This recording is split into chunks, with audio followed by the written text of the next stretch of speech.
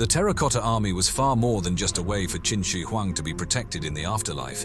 It was a massive statement piece, a symbol of his absolute power meant to echo through the centuries. After all, this wasn't just about a secure burial. This was about ensuring China would never forget the man who had unified it under his iron rule. Ancient Chinese beliefs saw the afterlife as a direct reflection of one's earthly life. By surrounding himself with his all-conquering army, Qin Shi Huang sought to retain his might, his status, and his dominance beyond his mortal years. But earthly power alone wasn't enough. To truly rule as an emperor, you needed divine backing, the mandate of heaven that signaled the gods approved of your rule. The sheer size and detail of the terracotta army were meant to leave no doubt that Qin Shi Huang held this divine approval, and that his right to rule extended even into the realm of the dead. Imagine the awe new recruits must have felt if they truly believed their likenesses would continue serving their emperor for eternity. The sheer scale of the terracotta army is truly staggering. The soldiers are life-sized and some high-ranking officers are even taller, emphasizing their leadership and might.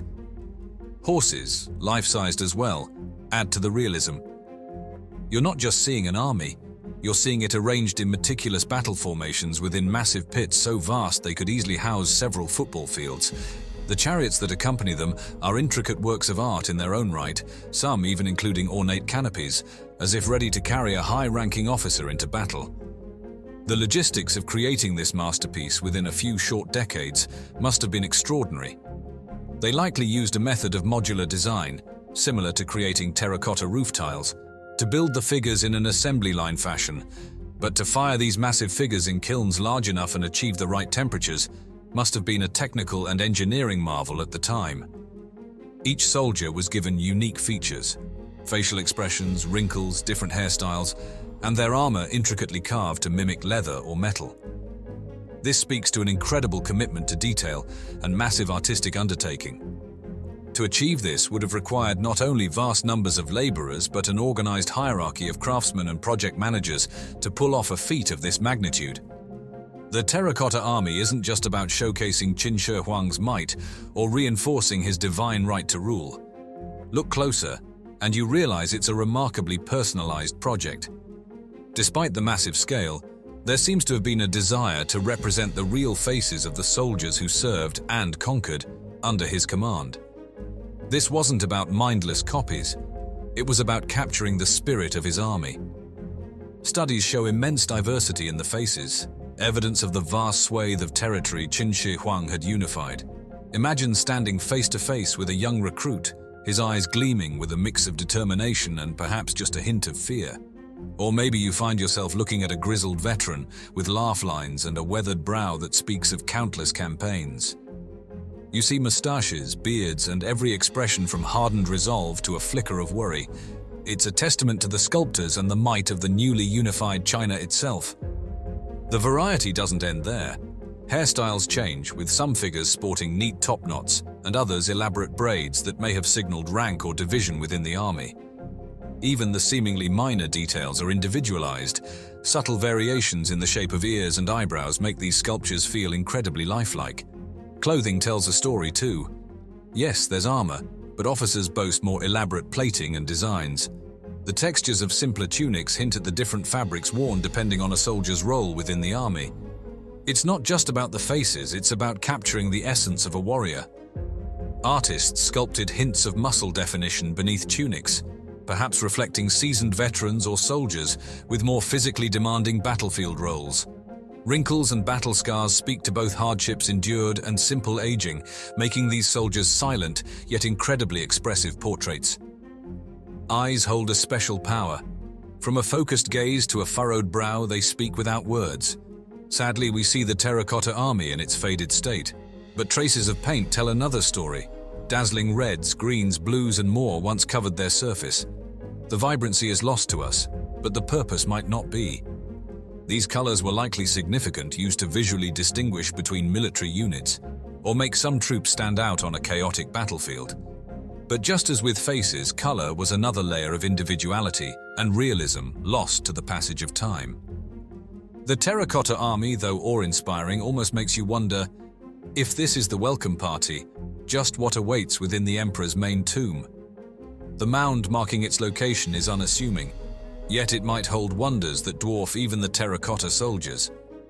Historical texts hint at an underground palace of extraordinary ambition and potentially lethal design. Sima Qian, a historian writing just a century after Qin Shi Huang's death, left tantalizing yet chilling accounts. He paints a picture of a subterranean microcosm, rivers of flowing mercury replicating China's waterways, a starry night sky recreated on the ceiling with precious jewels, and hidden chambers rumored to be overflowing with treasures. Think about the kind of dedication and resources needed to create a lavish afterlife replica of an entire empire. Modern science chillingly backs up parts of this fantastical description. Surveys around the tomb mound reveal unnaturally high mercury levels in the soil. Are those the remnants of Sima Qian's mercury rivers? Scans of the area suggest a massive structure lies hidden underground, but the Chinese government wisely takes a cautious approach. Excavating such a complex site could be fraught with danger, the threat of booby traps, the toxic threat of mercury exposure, and the fragile state of artifacts untouched for millennia would demand extraordinary care. The Terracotta Army wasn't the only preparation Qin Shi Huang made for his afterlife protection.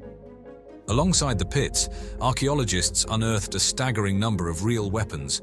Swords in excellent condition with sharp blades, crossbows with working mechanisms. These weren't just for show. They could arm the silent terracotta force should something in the afterlife necessitate their intervention. This raises an unsettling question. What if it's all a magnificent deception? Qin Shi Huang was a master strategist. What if the terracotta army was merely a distraction, his true resting place hidden elsewhere? If so, it's incredibly effective. No one has yet found a burial site containing the remains of the vast army that would have served under such a powerful emperor. Sima Qian doesn't skimp on the warnings when describing the tomb. Hidden crossbows rigged to fire on intruders, the constant threat of toxic mercury. It all paints a gruesome picture designed to ward off potential tomb raiders. Even today, local legends swirl around the tomb, filled with talk of supernatural curses and misfortunes befalling those who disturb its sanctity. Were these simply stories arising from fear, or deliberate deterrents planted centuries ago? And then there's a technological surprise. Those weapons found alongside the terracotta army have a chrome oxide coating that prevented rust. This was a preservation technique not thought to have been developed in the Western world for centuries later. Did Qin dynasty artisans discover this method on their own, or potentially stumble upon it while experimenting with other processes? The terracotta army isn't just an awe-inspiring sight, it's a testament to the extraordinary circumstances that allowed it to survive for over two millennia. Think about it. Clay figures buried underground, some damaged by collapsing pits and centuries of water intrusion, yet still intact enough for us to marvel at today. Part of it comes down to being forgotten. As time passed, the pits were buried, shielding the figures from the immediate threat of vandalism or the destructive effects of changing landscapes. Terracotta itself is a surprisingly durable material. When fired at the right temperatures, it becomes incredibly hard and resilient. Just think of how terracotta roof tiles last for centuries. Add in the more stable environment found underground, protected from the harsh extremes of weather experienced above, and you have a recipe for survival. Yet it wasn't just ideal conditions, there's an element of sheer luck at play. If farmers hadn't been digging a well in that specific spot in 1974, who knows how much longer the Terracotta Army would have remained hidden? The discovery, while accidental, paved the way for modern archaeologists to step in. They bring tools and techniques of excavation and preservation that simply didn't exist in Qin Shi Huang's time. The Terracotta Army isn't just a collection of statues, it's a window into an empire at the pinnacle of its power. The sheer scale of the complex, the meticulously organized formations, the detailing given even to simple foot soldiers, it all gives incredible insight into the military machine that allowed Qin Shi Huang to unify warring states under his rule. Think about the different troop types archers, infantry, cavalry and imagine how they would have functioned as a unified fighting force on a real battlefield. The undertaking itself speaks volumes about the Qin dynasty's infrastructure. Imagine coordinating the massive number of laborers and managing resources on such an enormous scale. It's a testament to the highly centralized and efficient bureaucracy the Qin dynasty was known for. The figures themselves stand as a display of craftsmanship. Imagine the potters shaping thousands of bodies, the sculptors bringing individual faces to life, and the painters adding those dazzling splashes of color. It reflects not only artistic skill but refinement in mass production techniques that were likely cutting edge for the time. The Terracotta Army reflects more than power and craftsmanship. It mirrors Qin Shi Huang's worldview. It wasn't enough to rule in life. His ambition extended into the afterlife.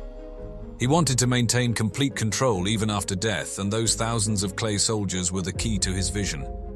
The story doesn't end with the excavation. The Terracotta Army remains an active archaeological site filled with unanswered questions. There are still pits waiting to be uncovered, and who knows what lies within the Emperor's tomb itself. Scientists are constantly developing new preservation techniques, striving to keep those fleeting traces of paint for future analysis, and even digitally recreate the Army's original vibrant appearance. As with any great archaeological discovery, research never stops. Each new analysis peels back another layer, helping us better understand the Qin dynasty, its technology, and the mindset of the visionary, and sometimes terrifyingly ruthless emperor who built it. The Terracotta Army deservedly earns its place as a wonder of the world. It's a fusion of power, history, artistry, and ambition that continues to fascinate, prompting us to linger on the questions that still swirl around this extraordinary underground army.